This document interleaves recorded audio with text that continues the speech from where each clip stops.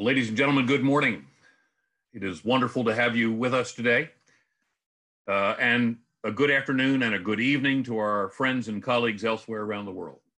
My name is John Allen, and I'm the president of the Brookings Institution in Washington, D.C. And on behalf of Brookings and our John L. Thornton Center, or China Center, I'd like to begin by offering my profound thanks to this distinguished group of leading public health experts for joining this important discussion today.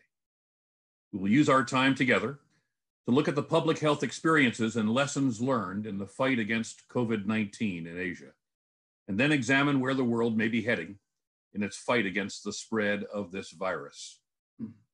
I'm pleased to be joined by so many renowned public health from China and Japan, Singapore, and South Korea. The strong participation in this event including with an audience of individuals from around the world, is reflective of the collective spirit that it will take to overcome this disease. Given both the increasing spread of COVID 19 and the importance of relations between the United States and Asia today, this meeting, even in virtual form, is vitally important. Today's webinar seeks to address three fundamental questions. At an epidemiological level, how does COVID 19 differ from SARS, MERS, and Ebola uh, epidemics, as well as other flus? And how should that temper our response? Uh, number two, what, what response has worked well in each country and what hasn't? And third, how should the United States and other countries prepare for what's to come during the outbreak in the aftermath, which we anticipate? Our goal is to identify practical, actionable recommendations that can help governments in the, and in the United States and around the world improve their ability to save lives and to stop the spread of this virus. To help guide today's discussion, I'd like to propose what we'll call the 4R, 4R conceptual structure. In other words, response, recovery, reform, and renewal. What is the urgency of our response? How do we collaborate in recovery? And in recovery, how do we seek to reform those things that need to be changed? And how do we renew relationships and institutions to prepare them for the future? The four R's.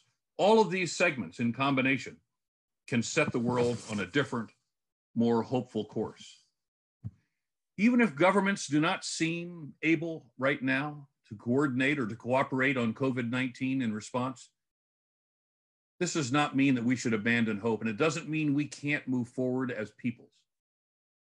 In a crisis that has seen responses veer from minimizing the seriousness of the epidemic to overstating its threat, today's discussion will present a clear eyed and balanced estimation of the real challenges we're facing as a community, community of peoples and a community of nations.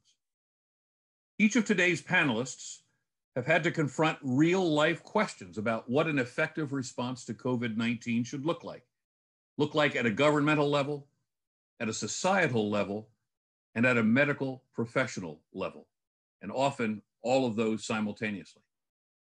I want to encourage all of our panelists to explore specific lessons learned from this pandemic and point to ways that may be helpful in fighting it going forward. I also want to underscore the immense challenge, but also the opportunity that this crisis presents. We have not seen such an, a, a devastating pandemic on a global level since 1918. But unlike in 1918, we now have the capability to rapidly and effectively exchange knowledge and information and coordinate across borders and to share relationships as people if we choose to do so. If we take this opportunity to, co- to cooperate and to coordinate rather than to blame shift or close ourselves off to information, we have the chance to come out stronger.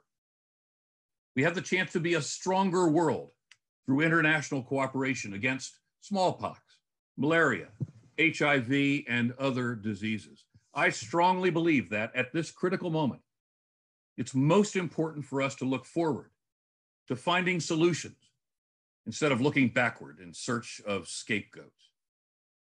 Our future, our collective future, will be defined by how we treat others, whether we come together at, and how we come together at this perilous time. And as president of the Brookings Institution, I am determined to focus the collective capacity of this institution on generating big ideas for building a stronger future. And today's event is an important element in that effort. So, again, I want to thank you very much for joining us. This is a critical moment, and all of us are in this together. So, with that, let me also then invite to the microphone our interim vice president and the director of our foreign policy program at the Brookings Institution, Dr. Suzanne Maloney, who will introduce our first panel. Suzanne, over to you, please.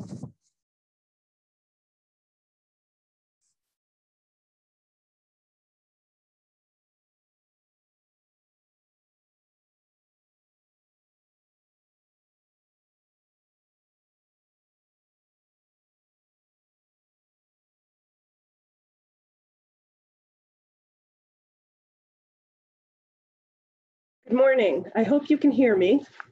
My name is Suzanne Maloney, and I'm the Interim Vice President and Director of the Foreign Policy Program at the Brookings Institution.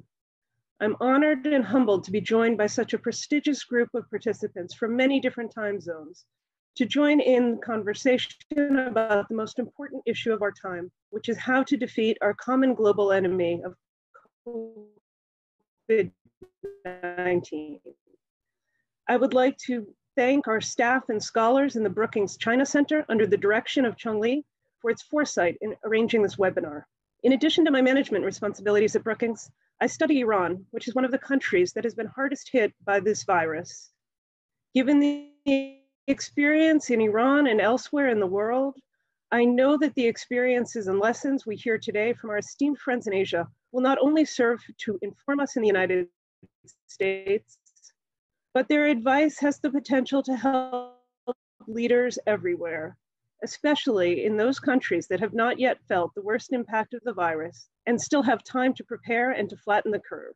I want to be clear that today's webinar is not politically motivated.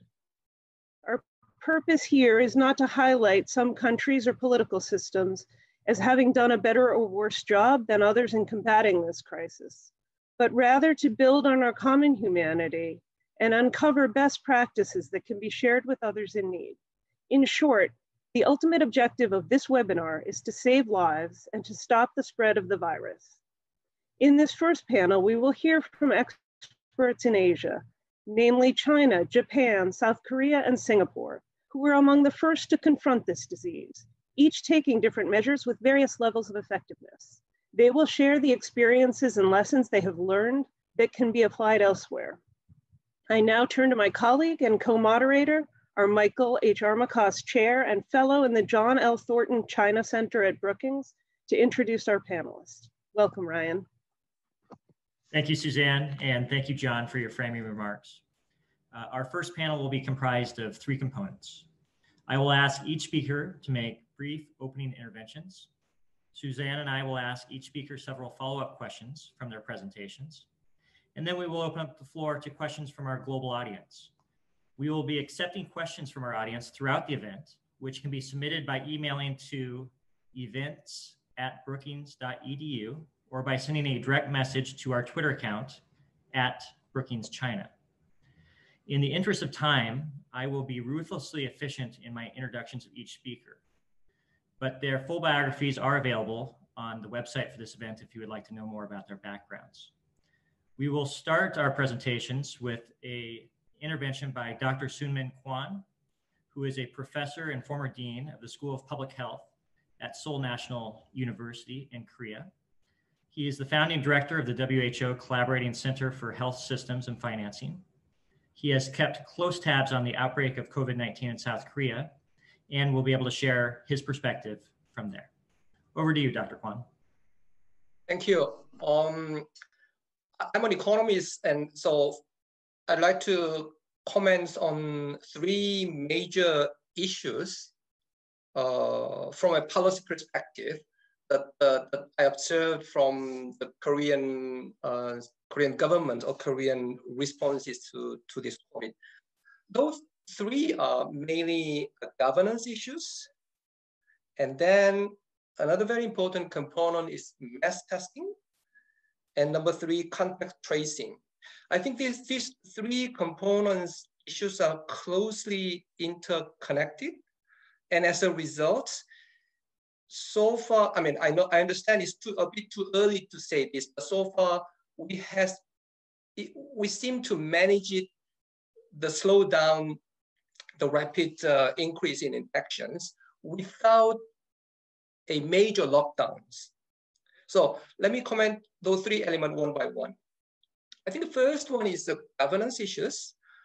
Governance, uh, trust in the government, a trust among society or transparency is quite important, especially uh, in this type of pandemic emergency situation. And also there is a policy learning component in the context of Korea because about five years ago, Korea had a painful experience of MERS, Middle East Respiratory Syndrome. And at that time, Korea experienced a, one of the largest casualties outside of Middle East. So after that, government uh, recognizes the importance of the preparedness to this type of health security issues. So Korean Center for Disease Control was strengthened a lot. So this uh, in this COVID uh, crisis, every day, I mean, at the beginning, twice per day, there's a briefing by headed by the deputy minister, sometimes the minister of health, and the director of the Korean Center for Disease Control. They gave a very detailed statistics on, on how many patients from which areas. And then there is also a, a mess like a social campaign.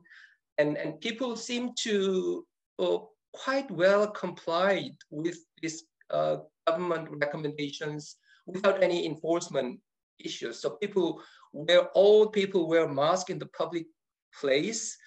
And, and, and there's a kind of social pressure such that if you don't wear a mask in the public place, people you can you can feel the pressure that people are staring at you.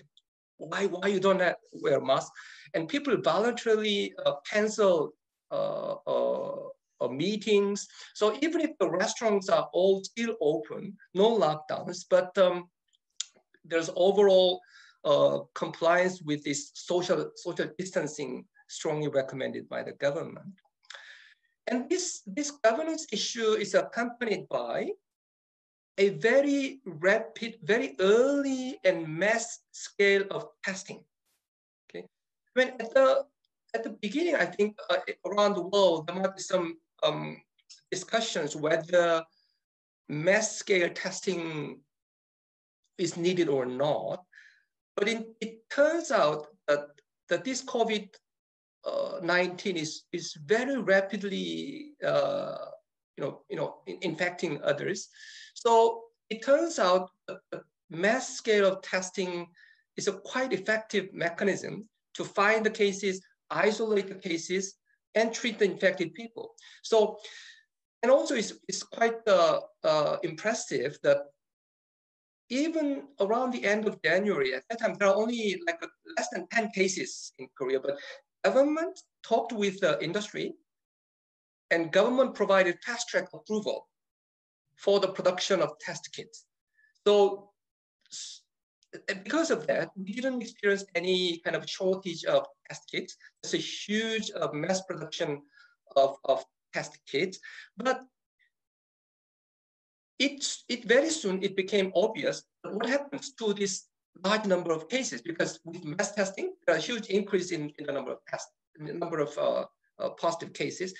So at the beginning, uh, people, all the positive cases were hospitalized. And then we realized that then we don't have enough beds. So then uh, we started to allocate beds based on the severity of, of uh, the cases. So if the case, if, we, we see a very severe COVID patient, they are hospitalized.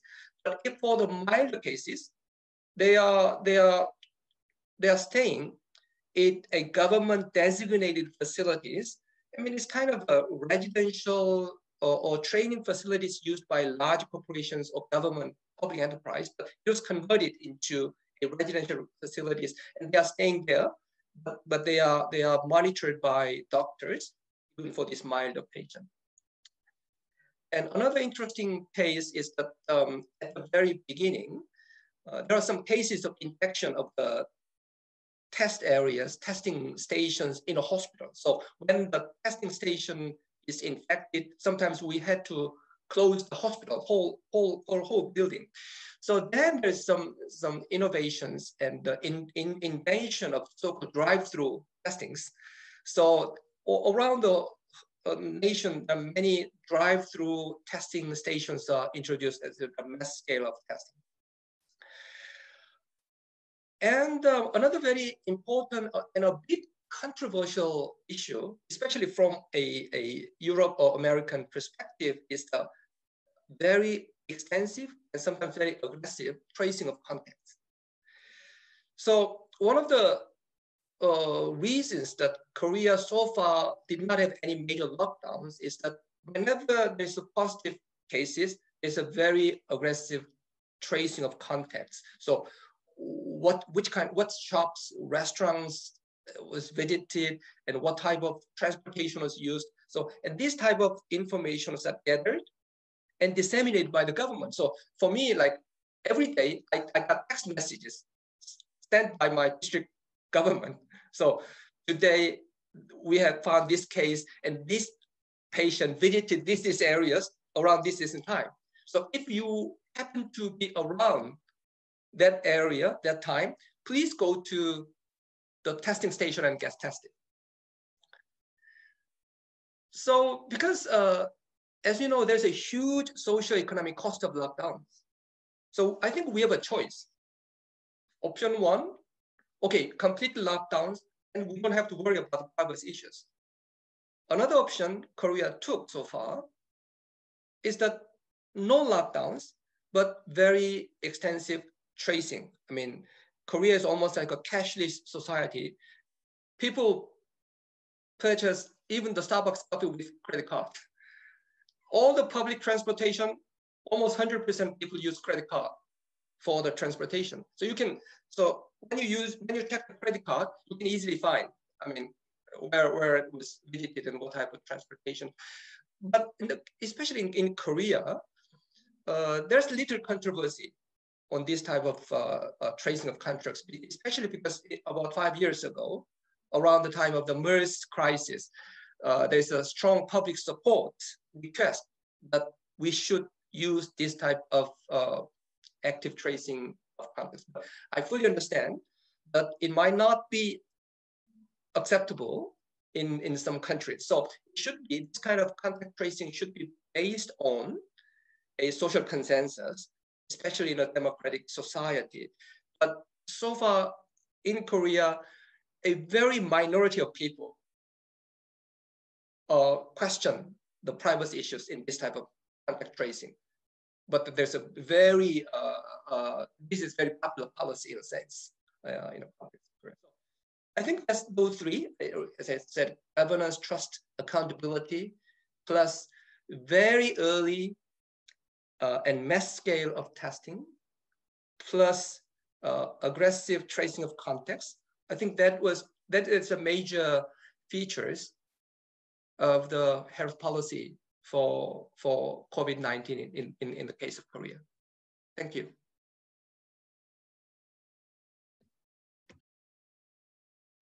Thank you, Dr. Kwon. That was fascinating. Uh, we will next uh, move to Singapore, where we will ask Dr. Vernon Lee to provide a perspective. Dr. Lee is the Director for Communicable Diseases in the Singapore Ministry of Health and head of Singapore Armed Forces Biodefense Center. He has overseen much of Singapore's efforts in combating and preventing the outbreak of COVID 19 in the country. Dr. Lee, over to you.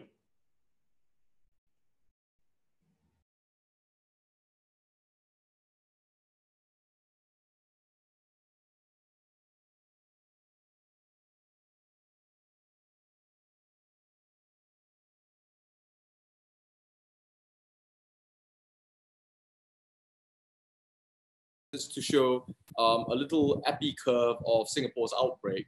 And you can see that initially uh, we had some imported cases, uh, mostly from uh, Wuhan city and Hubei province in China, that had seeded um, some local transmission um, in the later part of January and February of 2020.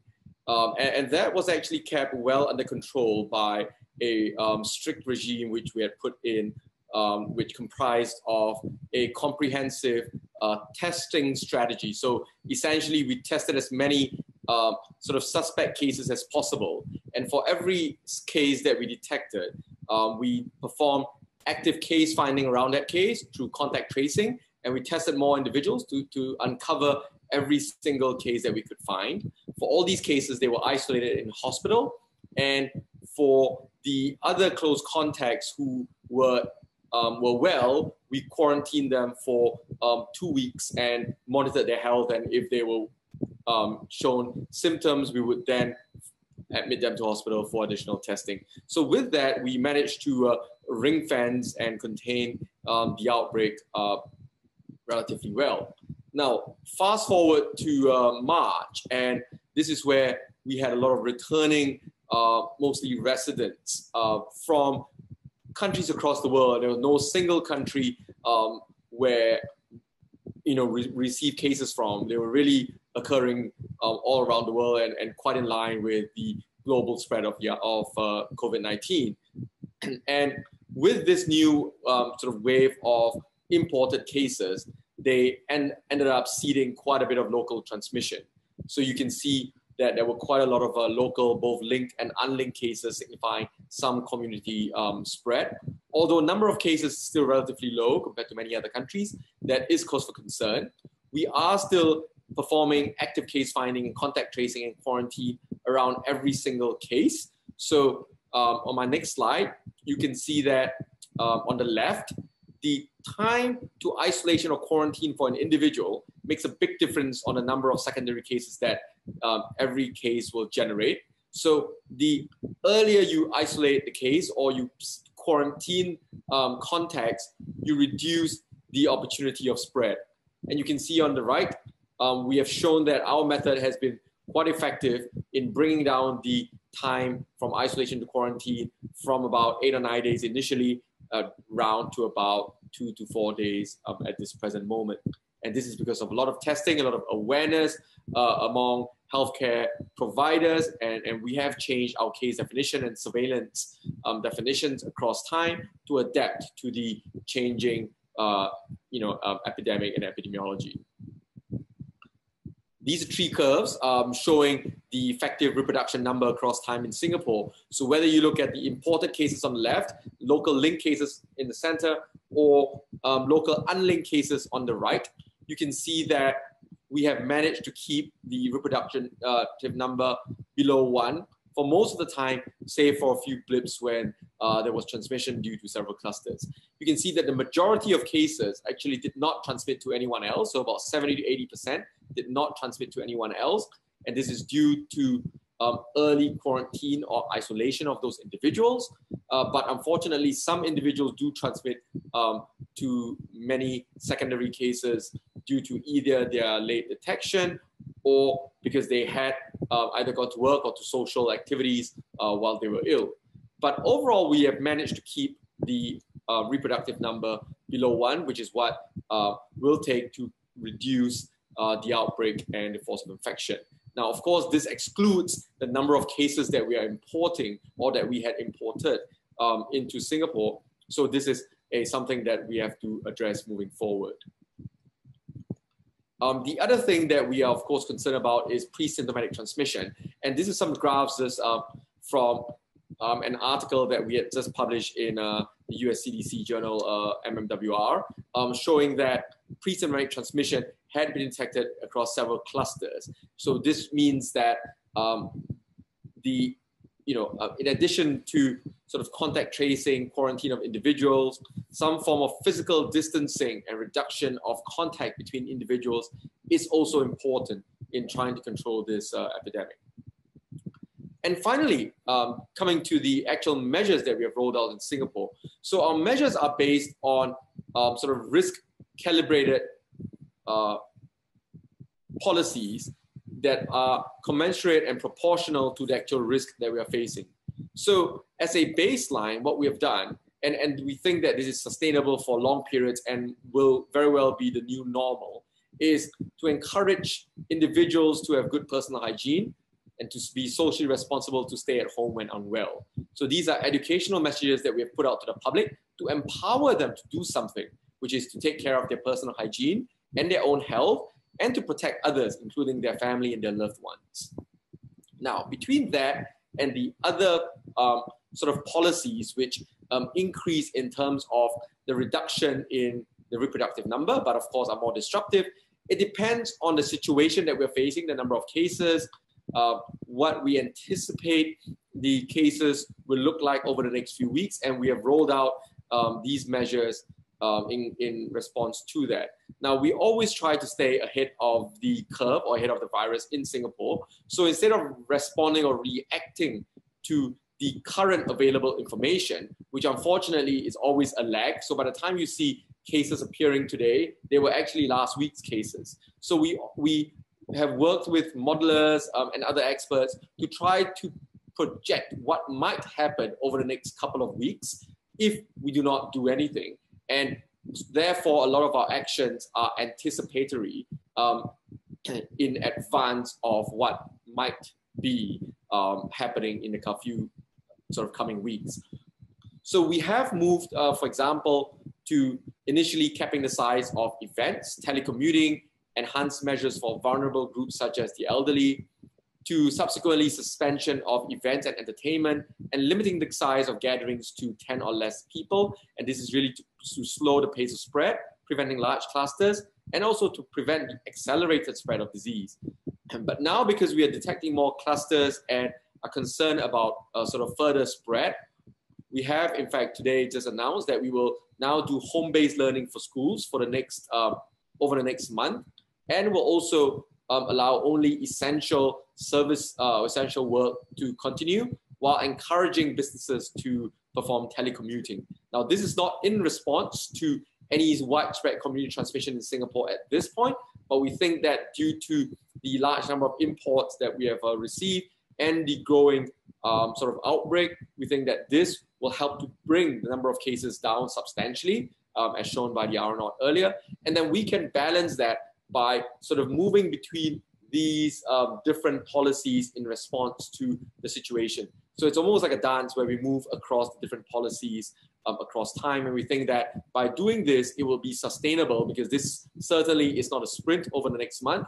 It's a marathon that we do not know how long it will last. So this is something that we think will be sustainable, not just for the healthcare system to, to avoid any sort of a resources issues, but also to allow for society and economy to have that sort of balance. Because if you do too little, the virus will overtake you very quickly. But if you do too much, then the the cure might be more deadly than the virus itself. So we try to do this um, sort of balance to be proportional and in response to the actual risk. So thank you so much.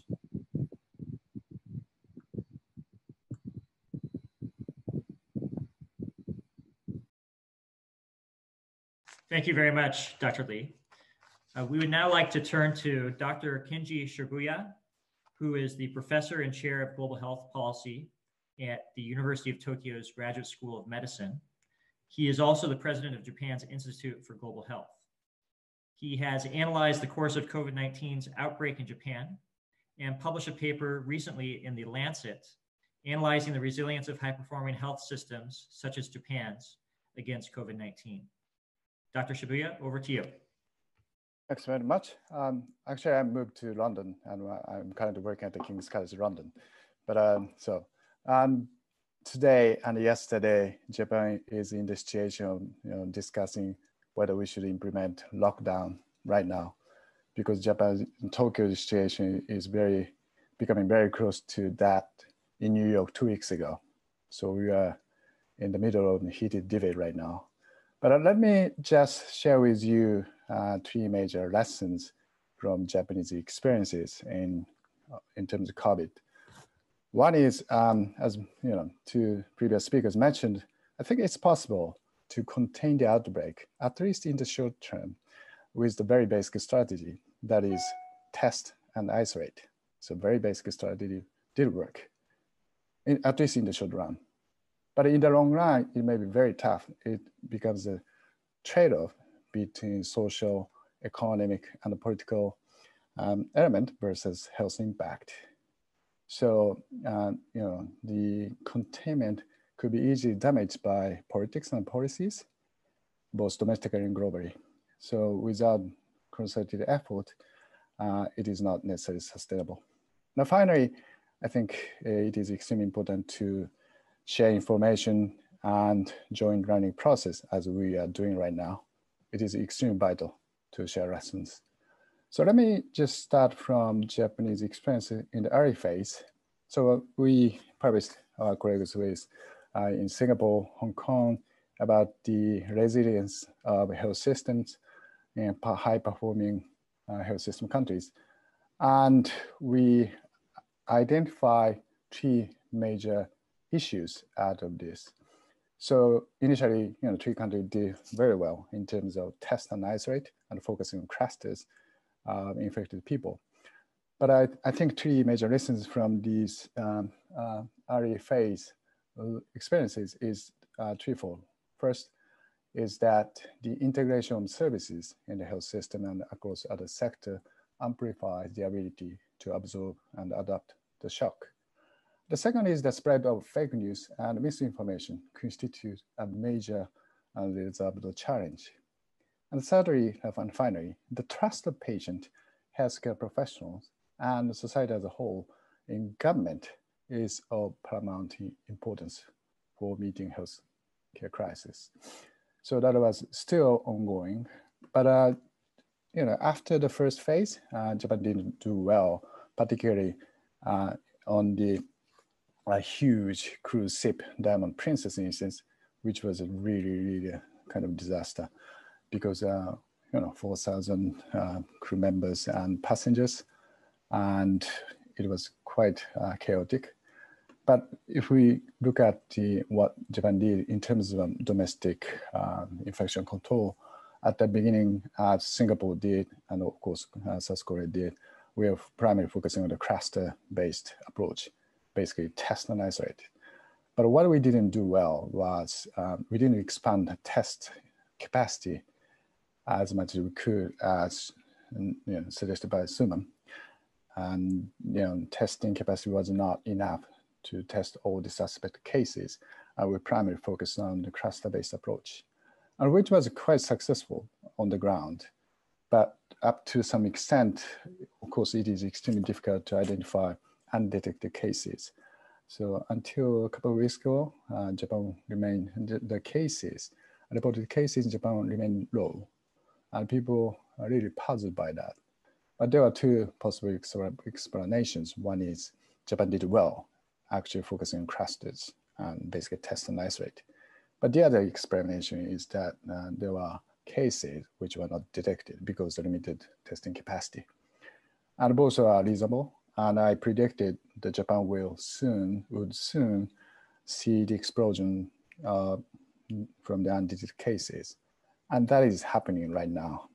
And if, you know, test and isolate strategy is a very classic, basic, fundamental public health approach. And I think WHO has been advocating from the beginning, right?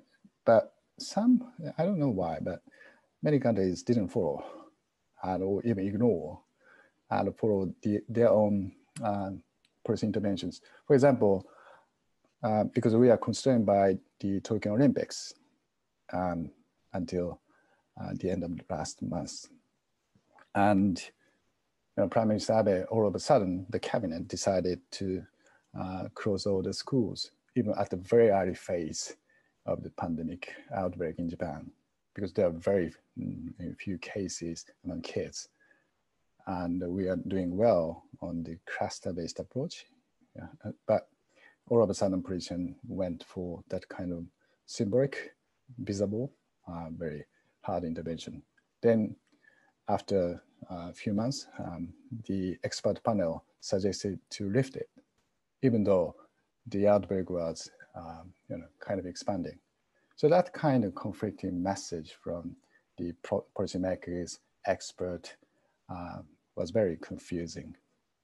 And right now, um, the, you know, both expert and MPs, particularly Tokyo governor, is asking the uh, prime minister to announce the state of emergency right now. Otherwise, we will see the explosion.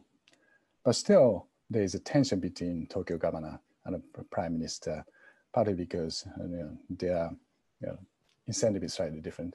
So the cabinet is focusing more on the social economic turmoil. On the other, Tokyo governor, uh, you know, requested by Japan Medical Association and Tokyo Medical Association on the potential crops or the healthcare. So as Soonman clearly mentioned, there is clearly a trade-off. And in the short run, we can just lock down for a couple of weeks and they lift it and they go, go back to another lockdown. We could continue a while, but afterward, in the long run, it's quite tough. So we need to adopt some sort of new social system and a way to accommodate, adopt what renew, or as you first mentioned, reform our social and health and economic system. We really need to adapt to ourselves to the new social system. So that will be clearly the next step. You know, right now we are focusing on tackling the pandemic or clusters or uh, isolate the patient. And of course, we need to prevent the collapse of health systems. But given this, uh, you know, pandemic phase, I don't know how long it will take for the next couple of years. And so we may need to seek the exit strategy and then also think about to adopt a new health and social economic systems, not just domestically, but also globally. And on that, we need to seriously look at, you know, um, some leading agency concerted effort globally, because right now, even in Japan, uh, lots of policymakers uh, are criticizing WHO. You know, some mentioned that we are, you know, we, we are easily get caught by scapegoating somebody. But that's not helpful because WHO and other nation states are part of the solution. So I think it's the time to go back to basics and to reinvigorate the global concerted effort. Or even though now, right now, or each member state, each countries uh, you of course have to tackle their own you know, outbreaks. But inevitably, we may need to go back to the basics. Thank you.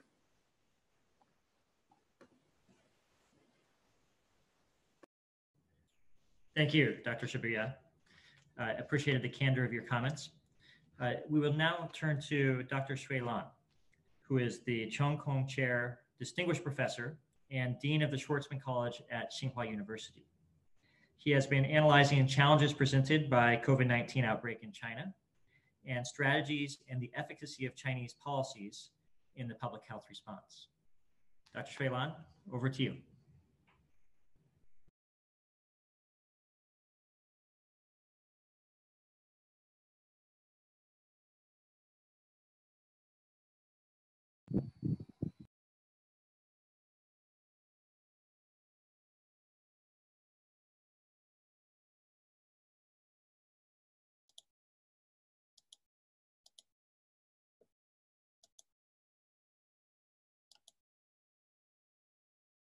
Hello, can you hear me?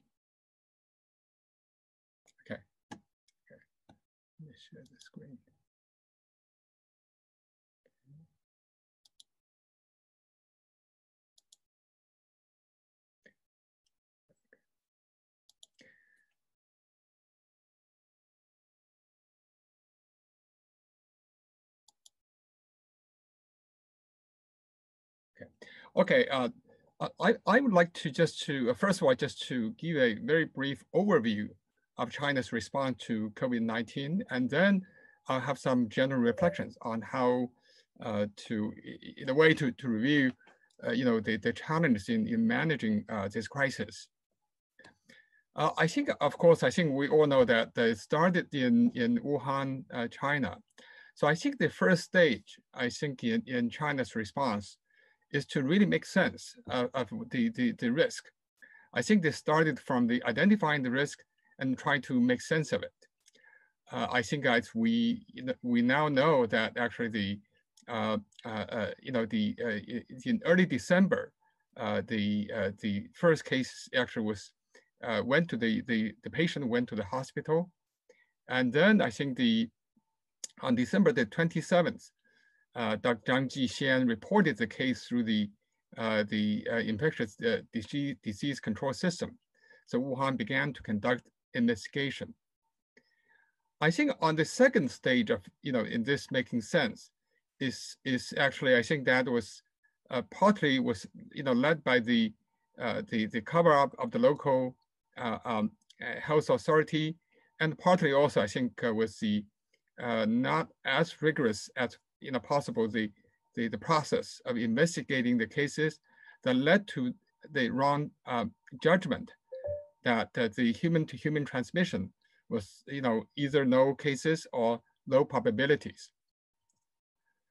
I think only by January the 20th, uh, then I think the uh, the third group of the uh, the, the, high level expert committee and they uh, you know actually they found indeed actually uh, there was human to human transmission, and so I think that um, uh, that was publicly you know confirmed at a TV interview and then I think that there was national, uh, in, uh, you know, uh, action.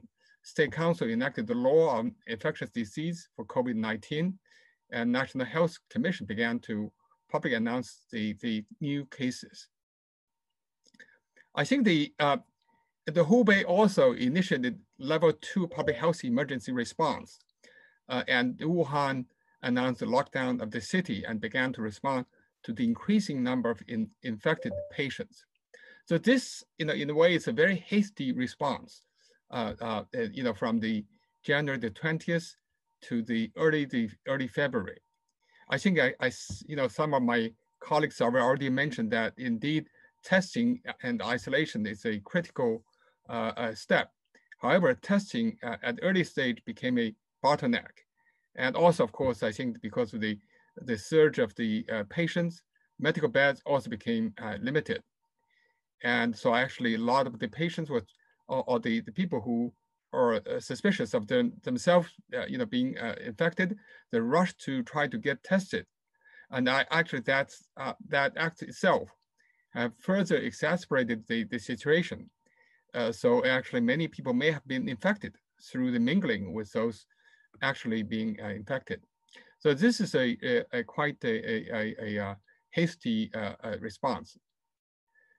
The third state is the national mobilization. I think actually the um, response outside Wuhan was very quick. I think the uh, three provinces initiated level one, the highest public health emergency response on January the 23rd, the, the same day when uh, Wuhan announced its lockdown. Also, the central government you know, set up a leading group on January the 25th, and also established a joint containment and control working mechanism. And very quickly, 31 provinces started level one response for public health events.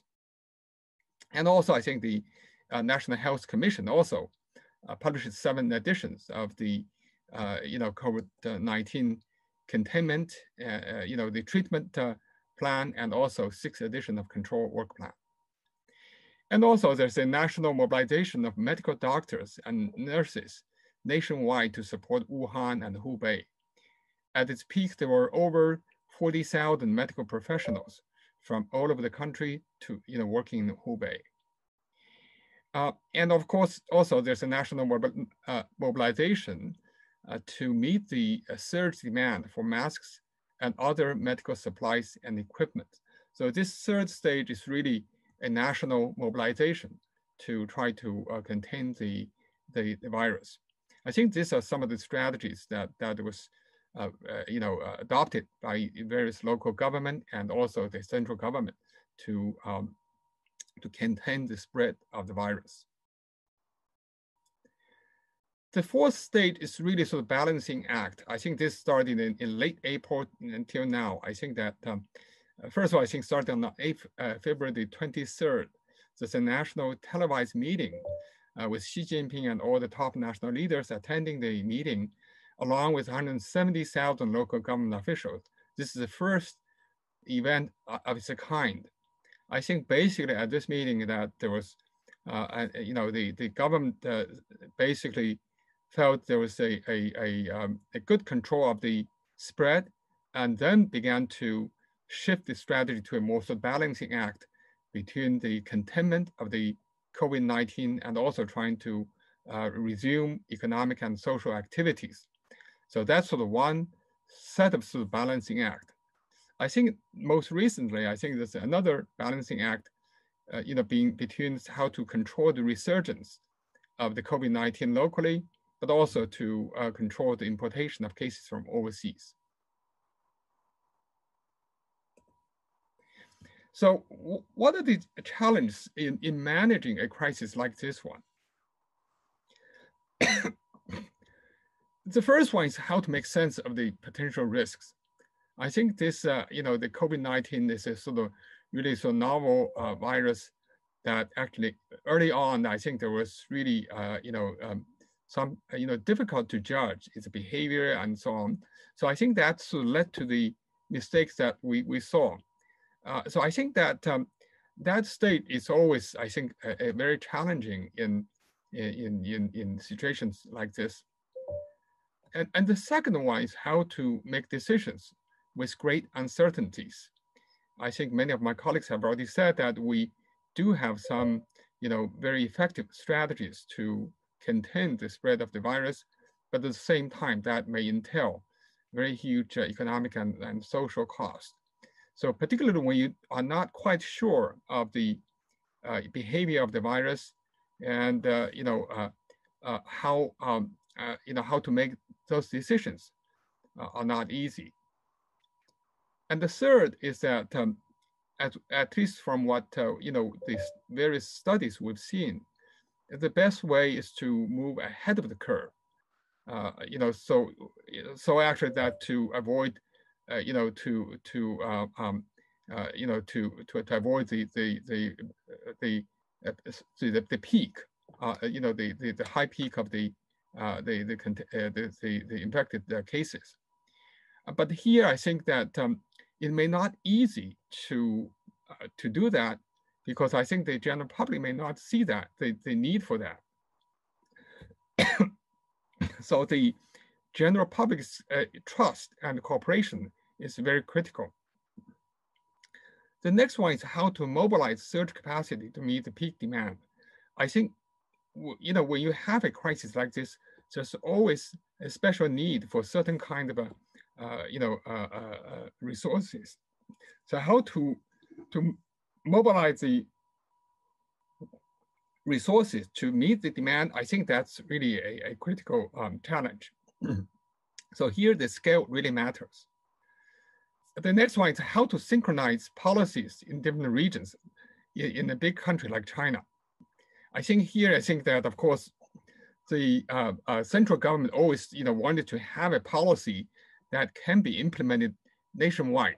But at the same time, how, do, how, how can you allow different regions to have varied policy, but also synchronized policies to reduce the potential uh, cost? So that's sort of the challenge we, you know, we face.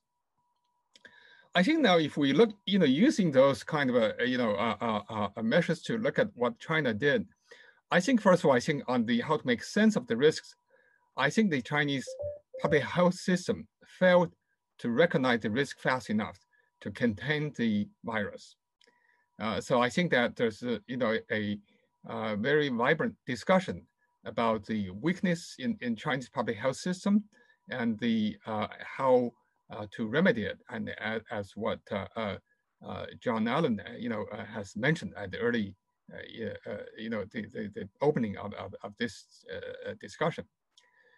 The second is how to make decisions with great uncertainties. I think here the central government has acted very decisively and very quickly to, to mobilize the, you know, the, the whole country to respond. So I think that the decision was made uh, uh, very quickly. The third is how to make moves ahead of the curve. Uh, I think here that uh, one can say that, uh, uh, you know, I think the most recent study have shown that with Wuhan's lockdown, uh, it's, it's you, you, can see that actually, uh, you know, the, with lockdown and also with level one response, you know, the, the lowest curve, the, that, that uh, uh black curve was the one that actually the outcome. But without that, uh, without shutdown and without level one response, the, the red line would, would be the case. So that would have been much worse than what we have now. So I think that in a way we can say that um, uh, you know China partially in a way was luck, uh, uh, lucky because the, it's a spring festival holiday. So the the lockdown actually you know and and also in, in, Wuhan and also I think the the kind of a um, um you know policy measures taken to contain the virus was able to to do that, I think was, uh, you know, the timing was also important. Another thing is also the general public are quite cooperative, you know, in, in, in, in uh, uh, following the measure.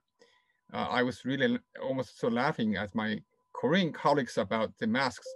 I also had the similar uh, things that, you know, particularly in open space, sometimes I don't want to wear the masks and, you know, the uh, my colleagues, uh, you know, you know, people around and they would often, you know, tell me to, to wear masks. So I think that the general public are quite, you know, cooperative in, in those, in following the policies.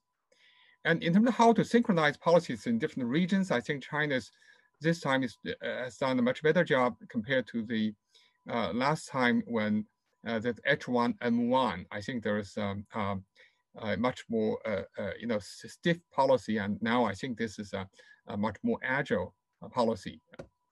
And finally, in terms of how to mobilize surge capacity to meet the uh, peak demand, I think in the, at early stage, it's, it's very challenging in, in, in, in, in, in, in doing that. But I think later on, I think that was indeed was able to meet the demand. So I think that's a more, uh, a brief overview and uh, reflection of the situation. Thank you.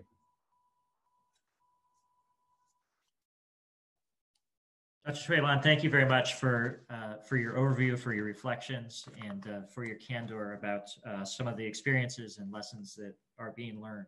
Uh, we're, we're, truly grateful for, for your comments.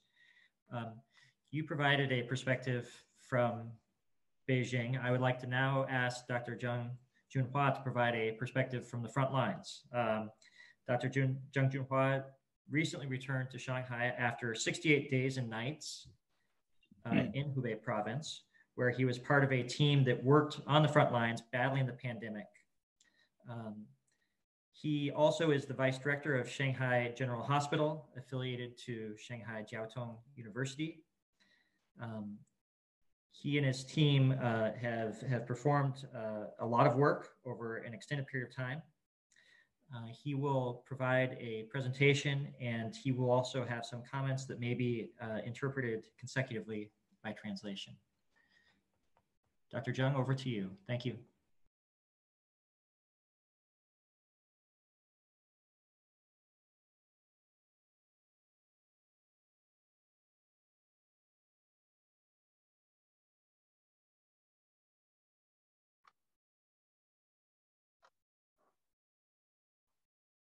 For my PowerPoint,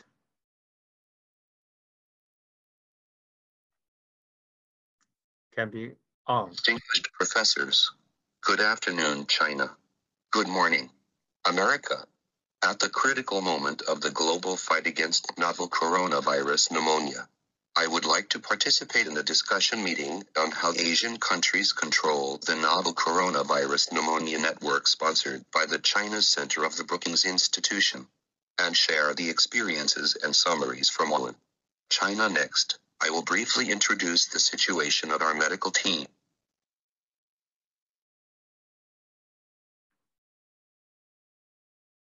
The first batch of medical teams in Shanghai are composed of 135 people from 52 units, with 37 doctors, 93 nurses, and 5 hospital flu. He arrived in Wuhan at 1.30 a.m. on January 25th the first of the national medical team to arrive in Wuhan on the afternoon of January 25th.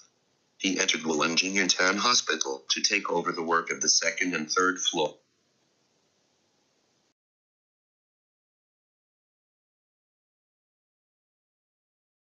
On March 13th, 2020. JAMA Internal Medicine. The well-known international medical journal published online a joint clinical analysis of JAMA internal medicine by the first batch of Shanghai medical teams led by Professor Zheng Junhua and Professor Song Yuanlin of Wuhan Jinyintan Hospital and Zhongshan Hospital affiliated to Fudan University. This study reveals the risk factors for the development of acute respiratory distress syndrome ARD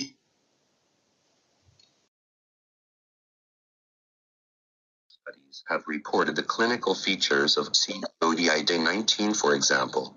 Juan et al. first reported that the common clinical manifestations of COVID-19 patients included fever, myalgia or fatigue, and cough. Current clinical practice suggests that most patients have a good prognosis.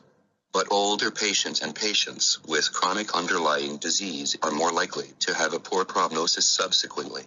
Shen et al.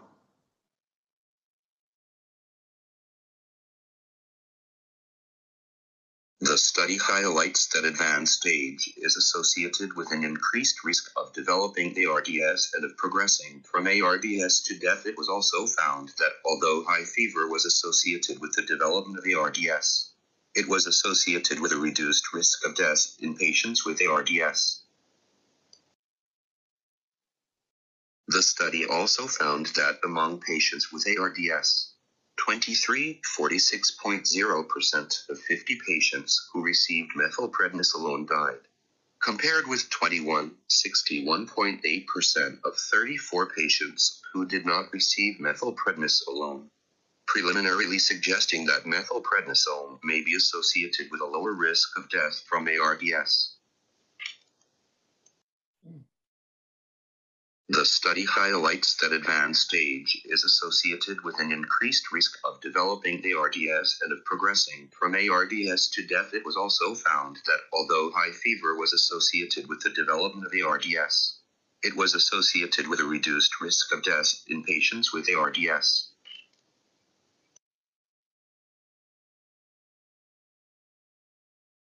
Lead author Dr. Chao Min Wu from the Shanghai medical team said. This study has received a lot of attention from international colleagues, with at 134,750 of reading times a week.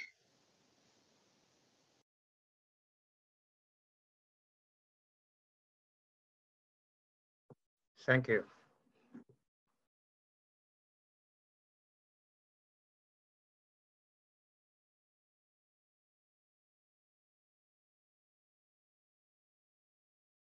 It was closed.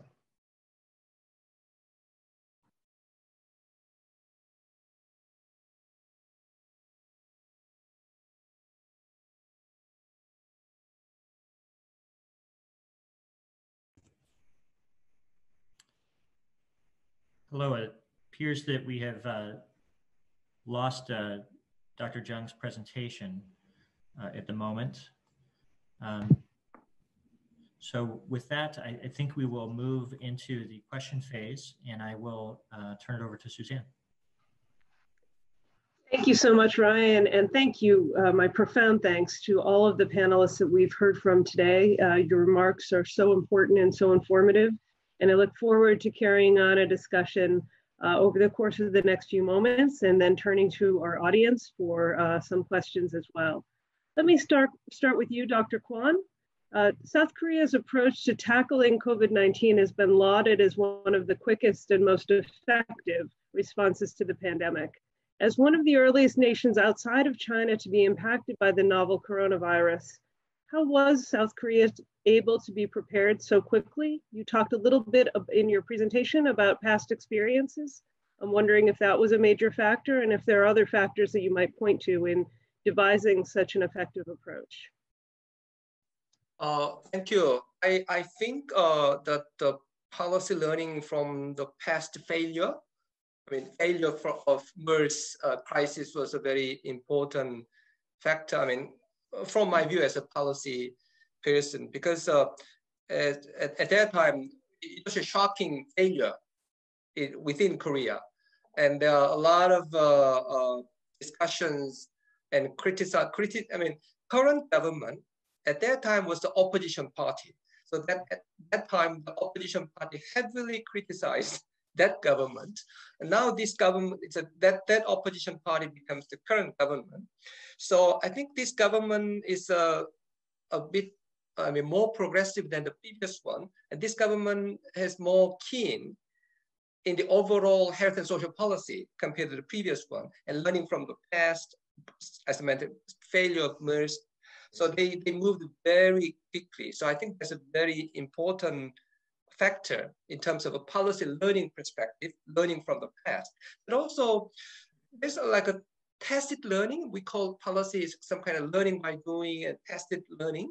So in that perspective, also like innovative, uh, innovate some kind of innovations in terms of, uh, of uh, drive-through testings uh, from the experience or learning by doing aspects. Yeah, that's my short response. Thank you, Dr. Kwon. Dr. Lee, turning to you. Would you speak for a few moments about the biggest challenge that Singapore has faced and how you might be approaching the possibility of a second wave of COVID-19? You spoke about the schools shutting down, for example? Are there other measures that are being undertaken to insulate against the possibility of a second wave? So I think the um, the challenges are probably twofold. One is the um, sort of you know importation of cases um, from countries where uh, you know the outbreaks, of course, in a more advanced um, stage, and that's something that um, unfortunately we had to deal with because uh, um, you know Singapore residents were returning from many countries across the world uh, where COVID-19 outbreaks were um, were increasing. So um, those returning um, individuals had seeded um, this sort of second wave of transmission that we have to deal with at the moment. Um, since then, because we now we, we now know a lot more about the epidemiology and the spread of disease um, in different countries, uh, we have actually put in place a uh, mandatory 14 day um, stay at home notice um, for all travelers um, from anywhere across the world coming to Singapore. And, and they would then uh, have to basically remain in their place of residence or hotel for 14 days and not be in contact with anyone. So with that, um, with the recent returnees, we had actually reduced the uh, um, sort of um, spread of COVID-19 quite substantially. But of course, we have to deal with this, as you mentioned, second wave of, uh, of community um, transmissions. And what we've done is to increase um, progressively, you know, suite of measures. Um, and, and all this, like I mentioned earlier, is part of, um, you know, sort of anticipating any future increases in cases, but also to do something to bring the number of cases down so that we would be able to balance between um, some of these sort of, I, I guess, higher uh, intensity measures and, to bring it down and, and then we can move back more to, uh, you know, life as, as uh, usual as much as possible. So we try to, to, to do the set of measures that we think are more uh, most appropriate for um, that time in point, uh, point in time, rather than trying to roll out things too early, um, because then you might have to hold them for a really long time with, with huge um, social economic uh, impact or to do it too late and then the health impact would be you know um, very high because the outbreak can quickly go out of control. So it's this balance fine balance that we're trying to reach. So it includes things for example we're doing now like uh, um, having home-based learning for um, school children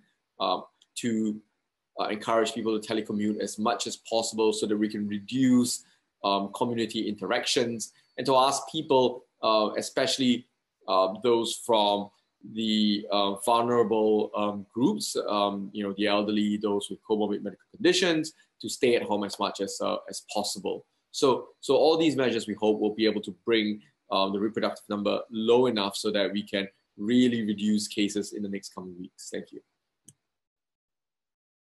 Thank you, Dr. Lee. Turning to Dr. Shibuya, uh, we heard, and we have uh, heard in a number of media reports, as well as uh, most recently in Dr. Zheng's presentation, about the vulnerability of the elderly to COVID 19. Japan, like other countries that have been hard hit by this virus, has a very large elderly population.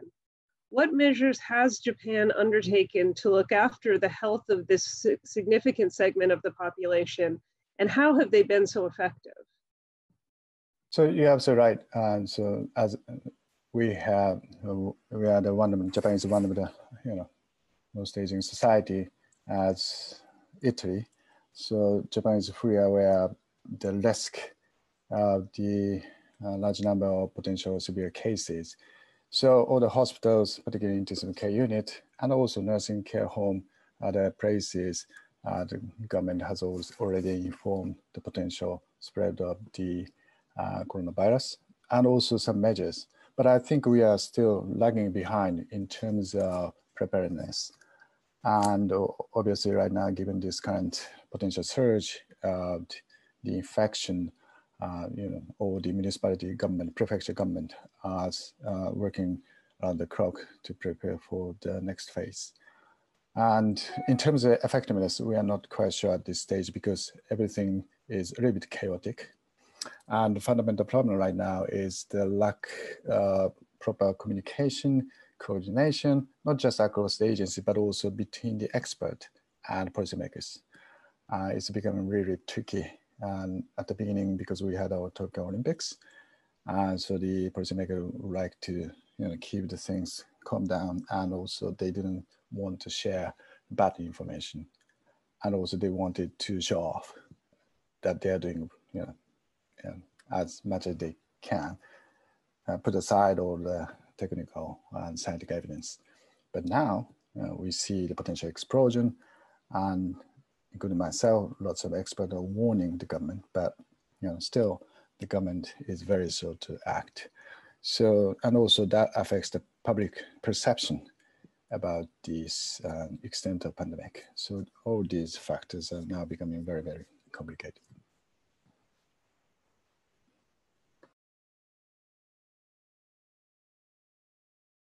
Thank you. Uh, Dr. Lan, if I may, I'd like to ask uh, a question or two of you. Uh, I've heard from others, not from you, that you've been invited in the past to brief the Chinese leadership on public health issues. Prior to the outbreak of COVID 19 in Wuhan, how prominent of an issue was pandemic control on the minds of China's leaders? And what concerns were foremost uh, in consideration in Beijing? Well, actually, uh, uh, I was indeed, I think last November, uh, I did, uh, you know, gave a talk at the uh, Central Politburo's uh, study session on emergency management, not on public health per se. You know, in, in talking about emergency management, we have four major kind of emergencies that was listed in, in terms of when we talk about emergency management. Public health is one of the four kinds. So I think that the government, the leaders do pay attention to how to build a strong and robust uh, national uh, emergency management system, uh, including uh, one, uh, you know, um, responding to public health events. so I think that the, in general, I think the, you know, I think after China's, you know, the, the SARS in 2003, the national leadership has indeed been paying great attention to uh, address you know public health uh, issue uh, you know events like this one so I think in in uh, um, in in uh, uh, uh you know 2009 when there's H1N1, and I think China did responded very uh, uh, very quickly. This time also, I think that um, the response, you know, once the problem is recognized, the response was very decisive and very quick. But I think the challenge is how do you recognize the problem early enough? That's the challenge. Thank you. And can I just pick up on that thread because there's been a lot of uh, discussion and focus about the issue of transparency, and you raised it in, in your comments as well. It's a it's a difficult challenge. Um, what what do you anticipate will be the the corrective measures taken to increase and enhance transparency at the onset of outbreaks in the future? And related to that, um, China has not uh, publicly recorded asymptomatic patients until April 1st. Um, why, why did China make that decision uh, not to publicly record those cases? Okay, let me uh, respond to the first one first. I think the here, I think the, the um, question is not uh, simply a transparency problem. I think this time again, I think, you know, uh, it, it's, a, it's a novel sort of virus. And I think uh, when it first appeared, it's very difficult to recognize its behavior and to understand its behavior. Uh, so I think that uh, uh, wherever it happens, you know, to appear, I think that you know process is going to be challenging. And here, I think that if you look at the whole, I think now in China, there's a lot of, you know, there's kind of reporting, uh, really outlining the whole sequence. You see that actually the local health authority indeed actually, uh, uh, you know, announced publicly about the, you know, appearance of so-called the, uh, you know, unknown pneumonia. So I think the, you know, that itself is not, you know, um, where they're trying to cover up.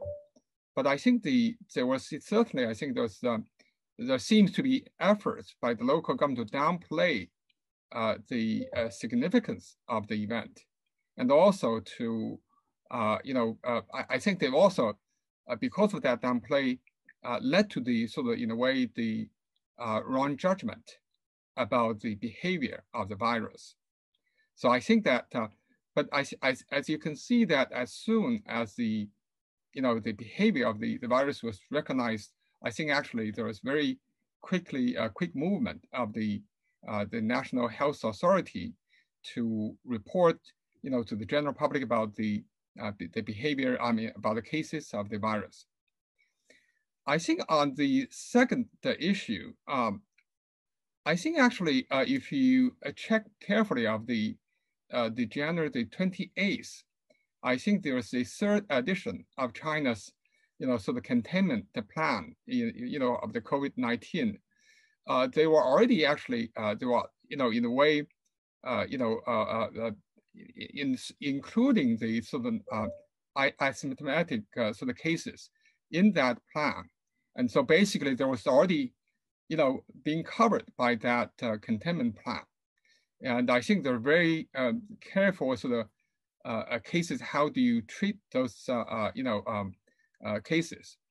So I, I, I, don't think there's any sort of intentional, uh, you know, sort of in a way sort of cover up on those cases. I think actually those cases were indeed, you know, covered in that uh, edition. There were already indeed, you know, they were found. Uh, there were cases that, you know, people were infected, but there was no symptom. So in, if you, uh, read the, the, the, the, control plan of the January to 28th, and that was already notified and also that, you know, was um, measures being taken. However, that was indeed was not separated from other you know, so the cases that being observed are being quarantined. I think now, given that there's so so so much you know discussion and in, in and public's concern, so I think now on April the first, uh, you know, the government began to you know take that group in as a separate group. But again, you know, there was you know not any nothing new, but it was just from the previously, you know, quarantined cases and you know this taking them as a separate group. So I, I think that uh, uh, people, if people read the, uh, the version uh, three, uh, that should be quite clear. Thank you, Dr. Xue. Yeah.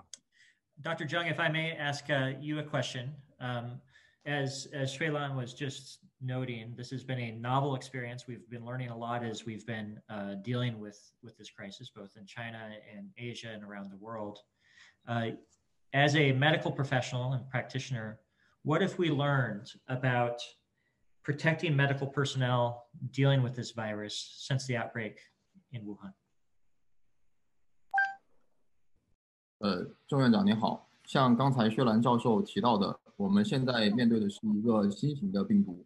呃，现在在中国、亚洲乃至世界上，啊、呃，我们都在了解更多关于这个病毒的新的信息。那么作为一个呃医疗的这个专业人士呢，想听听您呃讲一讲，就是说呃我们如何在抗疫的这个过程当中呢，呃能够更好的保护我们的医护人员。呃，目前的话呢，应该前段时间呢，在湖北呢有三百八十六支四万多名的医护人员战斗在武汉和湖北。呃。So previously, there were about uh, 386 teams of medical professionals, and in total, about 40,000 medical professionals uh, fighting against the virus in Hubei. 到目前呢，已经撤回了三万多名队员，将近四万名队员已经撤回了。And uh, close to 40,000, uh, about more than 30,000, close to 40,000 of these medical professionals have returned to their homes. 目前得到的数据呢是有数据呢是医务人员原额的医疗队没有一个人感染。So the current figure shows that out of these uh, 40,000 medical workers who went to help uh, Hubei province, uh, the infection rate was zero. 据我所知的话呢，只有一名医务人员车祸牺牲，一名医务人员过度疲劳、心脏骤停，还在继续治疗中。一名医务人员的脑血管意外，在手术后康复过程中。Well, according to my knowledge, uh, one healthcare worker uh, unfortunately died from a car accident. Uh, one suffered from a heart attack due to long hours of labor, but currently under treatment. And another one suffered from a cerebral vascular accident and now is under recovery.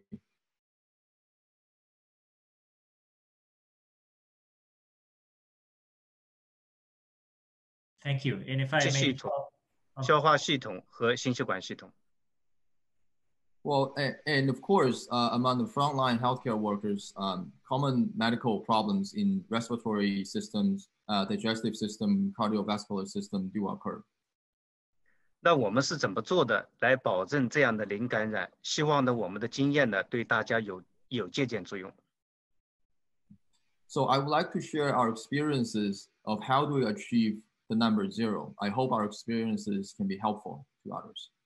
我们将医疗队分成了医疗组、护理组、后勤组、质控组、检验组、院感组和心理指导组、宣传组等八个小组，并建立了医疗队的管理制度和队员的守则。So we split the uh, medical team up into several groups, including a treatment group, a nursing group, a quality control group, a testing group, a hospital infection control group, uh, a psychological consulting group, and a publicity group.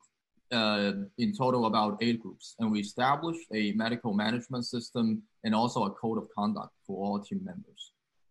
我们制定了包括院内感染的管理制度、物资的发放规定、使用规定、休息室的管理规定、驻地酒店的防护规定、手机终端末端设备使用规定在内的六个管理的原则。uh, so the, the system we uh, established includes a code of conduct, a hospital infection management system, a medical resource distribution and application rules, um, and public launch and space management system, uh, and the destination hotel protection and prevention rules, uh, cell phone and mobile device usage rules. So all in all, about six sets of rules and regulations. 我们把院岗放长在重中之重。我们还制定了一套针对职业暴露的预案，例如扎针时护士扎到自己的手指，防护衣被勾破了，防护衣不小心污染等意外的突发情况， 该如何的处理？So we've also uh, we've always focused on how do we pre pre prevent uh, infection uh, among our healthcare workers. So we have also made a set of contingency plans for occupational exposure. Uh, such as what happens when a nurse accidentally punctures, punctures herself uh, during an injection, uh, what happens when the protection gown is damaged, uh, what happens when there's contamination when someone is taking off the protection gown, uh, and so on.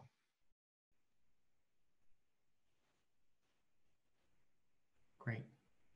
Thank you very much for sharing those insights with us. given the the shortening time that we have together and the abundance of questions that we've received from around the world, I'd like to now turn to a few questions from the public. Uh, we will start out with a question from Mark in Washington, D.C. Uh, the question is uh, directed at uh, Dr. Kwon, but others are welcome to jump in from, uh, particularly from a Japanese or Singapore perspective. Um, but after the infectious disease management law in January or February was put in place, was there a sunset period for when the law would uh, be revoked?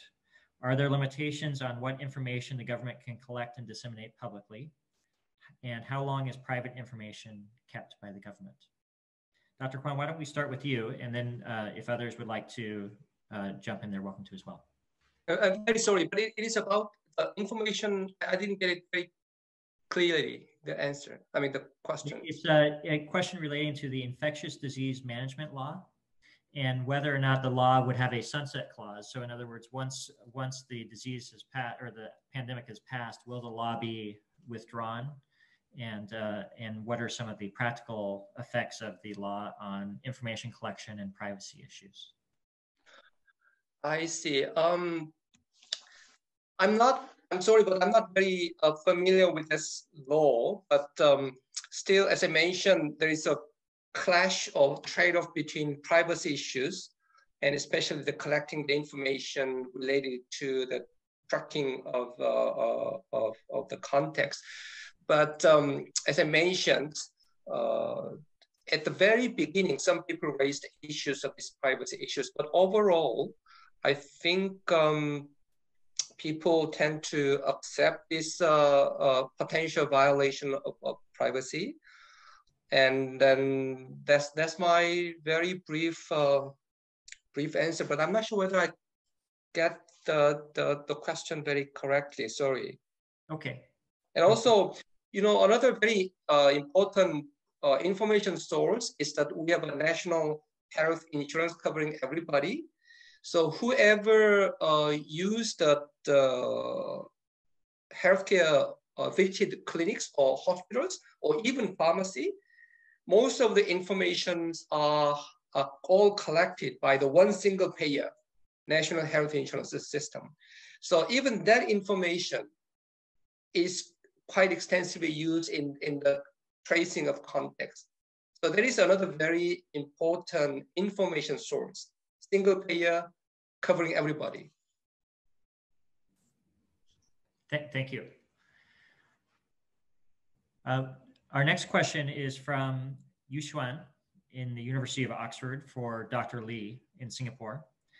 The Singapore government indicated recently that when the virus containment reaches a better situation, border control measures may be relaxed. Uh, what factors are currently under consideration that would drive a determination on relaxation of border control measures? Sure. I think um, you know that will depend on uh, several factors which we have to take in, as a whole. Of course, is you know what the sort of global situation um, is like, and and what the situation in um, perhaps specific countries where uh, we would want to relax those measures might be, and and that would include um, things like you know how comprehensive um, um, um, surveillance systems are what is the uh, overall number of cases and the trajectory of the outbreak, um, both in Singapore and, and in the respective uh, countries. But I think that is something that we would have to consider so that, you know, that there is, you know, an end uh, stage to this, this whole um, sort of containment efforts because I think right now a lot of governments um, and, and, and international organizations alike are looking at when you know these containment measures will end and how they will end.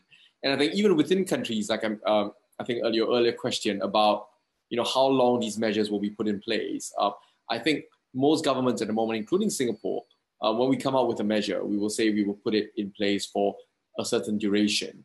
And, and typically we will say, you know, I think two incubation periods or, or, about 28 days to a month is a reasonable period where we, then we can then observe um, whether there is any um, impact of those measures, and then we can adjust accordingly.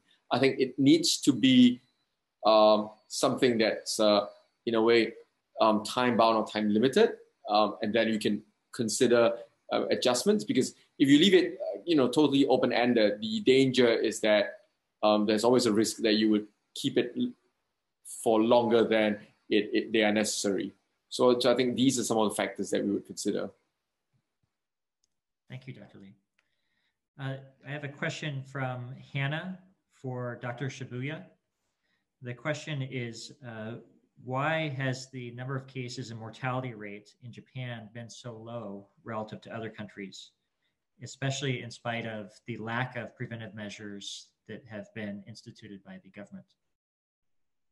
So first of all, as I said earlier, uh, we fo Japan focused on the targeting clusters of infected people at the beginning of our control measure, and which has been successful. So, and also the other flip side of the coin is that we didn't do aggressively in terms of testing, expand testing capacity. So both contributed to relatively low number of cases up to uh, now. But now in Tokyo and the big cities like Osaka, we see the rapid increase in number of reported cases. So we now see, we predicted there will be an explosion uh, and we, we are in, in entering the second phase of this pandemic situation. In terms of number of deaths, um, because we have so many pneumonia deaths, so there will be misclassification, but also we are still, we were in the early stage of this outbreak, so we will see more potential casualty in due course. Thank you. I have a question from Dr. Francis Liu. Uh, I will direct it to Dr. Xue Lan and Dr. Zheng. Uh, it's a question about face masks and, and wearing them. And I know that Xue Lan, you, you spoke about this as well as Dr. Kwon. This is a subject of some debate in the United States, whether there should be um, more encouragement or instruction for people to wear face masks. How critical has the use of face masks been? And um, should there be more pressure on the general public to wear face masks in public? Let me first say a few words. I think then, of course, Dr. Zheng probably is more authoritative in, in, on, on this issue. Uh, I think, first of all, I think that uh, based on the findings so far, I think there seems to be, uh, you know, I think that, uh, you know, face masks would be very helpful in, in terms of, you know, preventing getting infected uh, in, in sort of closed, uh, you know, sort of spaces like in, in elevator or in, in, you know, crowded places and so on. So that actually, I think, certainly, I think given what's been known, that should be useful. Uh, but at the same time, if you're in a very, in a par open space at the park, uh, that uh, may not be as necessary. That's my understanding uh, based on what I see. Uh, maybe uh, Dr. Zheng can, can also tell us more. Thank you. 呃，郑院长，郑院长您好，呃，下面一个问题是给您的，呃，就是说呢，想让你跟大家谈一谈，呃，您认为戴口罩呃，作为一种公众的防护的方法，呃，有多多大的重要性和有效性？那么政府呢，是不是应该更加鼓励和给公众施压？呃，鼓励公众呢，在公众场合佩戴口罩？请您点评一下。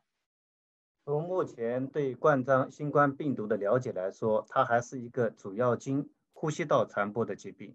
从我们的尸体解剖的情况来说的话，也是对肺部的损伤作用是最主要的。所以目前认为还是从呼吸道传染为主的一个疾病。So, according to our knowledge of the uh, uh, COVID-19 so far, it is a respiratory disease, and according to the results of the autopsies, uh, the major damage to the human body was to uh, a person's lungs. So right now, we mostly look at it as a respiratory disease. 所以从这些 道理来讲的话，戴口罩的预防作用非常的重要。So from these uh, conclusions we've drawn so far, I believe wearing a mask uh, is a very important uh, preventive measure. 在目前的国际的疫情的情况下面，在特别是在流行的国家里面，大流行的国家里面，我认为强制性的在公共场所进行戴口罩是非常必要的。So according to the situation of the uh, widespread of the coronavirus internationally, and especially in the uh, countries with major outbreaks, uh, I believe it is very important that we, the government, uh, should uh, put forward mandatory requirements for people to wear masks in public spaces. 我们建议呢，在公共场所戴的口罩呢，是以外科口罩为主，不需要 N95 的口罩。 we believe for the general public, uh, the masks that they wear in uh, public spaces uh, should only be surgical masks and not N95 masks. 我们也建议呢，在公共的活动要减少，特别是群聚性的活动应该尽量的减少。 如果是疫情发生严重的地方，可能要采取更严格的措施。And we strongly suggest that we should uh, try to uh, decrease the amount of activity in public places as much as possible, and especially uh, with group activities. and also in places where the outbreak is really surging right now, maybe you need stricter rules. 我们还是建议比把更专业的口罩留给一线接触的医务人员。And we also recommend that we leave the uh, professional face masks uh, for our frontline medical workers. That's all. Thank you very much. If I could ask one final question, we're, we're out of time, but uh, it's a yes or no question. Uh, is there any evidence of neurological issues associated with the virus? 呃，我想最后问一个问题，就是在这个病毒方面，我们有看到一些这个呃神经医学方面的这个证据吗？ 目前有关神经方面的损伤还不明确。我们自尸检的材料过程中，对脑组织的损伤不重，但是在我们在临床过程中呢，也发现了到一些神经末梢的改变。比如说，我们有发现有短暂的病人的失明的失眠的情况，也就是眼睛看不见了。经过抗病毒治疗以后，肺部炎症减退以后，它就消失了。那么我们在判断。一是不是病毒引起的？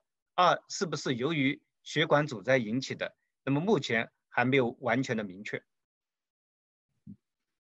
Uh, so in terms of its in, uh, neurological impact, uh, we're still finding out more evidence, and it's very hard to draw a conclusive uh, conclusion right now. Uh, according to our clinical evidence and also from autopsies, we, we found out that it's mostly damage to the lungs, and uh, it's very little damage to the brain tissues. Um, and also, but also uh, during the clinical experiences, we have found that some patients might lose their eyesight uh, temporarily, uh, but, but with the uh, improvement of their lung function, uh, their eyesight might improve. So we're still trying to see whether this temporary loss of eyesight is caused by virus or is caused by a conglomeration in a clot in their uh, blood vessels. We're, we're still finding out. Thank you very much. Uh, we have many more questions, and I have many more questions, but I'm afraid that uh, we've run out of time. I want, uh, on behalf of, of Suzanne and myself, to thank you deeply for the wisdom that uh, you've shared with us, the, the perspectives, the lessons, uh, which I hope will be beneficial not just in the United States, but uh, around the world. And with that, I will turn it over to my colleague and friend, Cheng Li. Thanks for watching. Be sure to like and subscribe for more videos from Brookings.